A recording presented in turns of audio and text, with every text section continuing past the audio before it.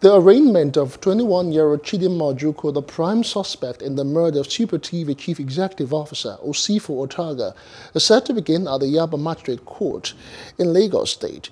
Ojukwu, a 300-level mass communication student at the University of Lagos, is presently in court and will be arraigned with two other suspects in the case.